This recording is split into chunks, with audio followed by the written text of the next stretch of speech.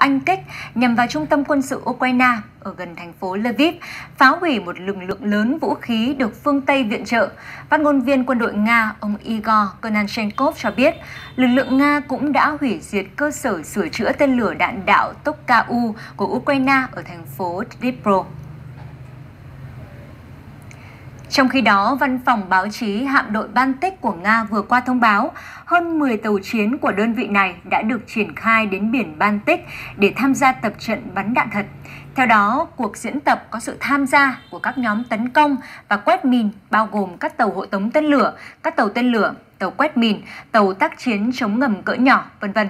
Mục đích là thực hành đối phó với thủy lôi, thực hiện các vụ tấn công bằng tên lửa, tấn công các mục tiêu trên không và mục tiêu trên biển có độ khó khác nhau.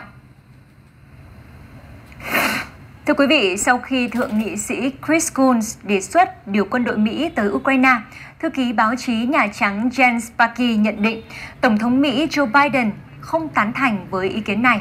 Bà nói, Tổng thống không có kế hoạch điều quân đội tới chiến đấu với Nga. Ông cho rằng điều đó không nằm trong những lợi ích an ninh quốc gia của chúng tôi, cũng như lợi ích của người dân Mỹ. Đáng chú ý, quân đội Mỹ vừa cho biết Lầu Năm Góc dự định huấn luyện các binh sĩ Ukraine sử dụng vũ khí và thiết bị quân sự mà Washington gửi tới Kiev. Khóa đào tạo sẽ diễn ra ở một quốc gia thứ ba. Với cách này, Mỹ sẽ có thể hướng dẫn binh lính Ukraine sử dụng vũ khí trong lô hàng hỗ trợ mới, trong khi chắn đặt chân đến quốc gia Đông Âu.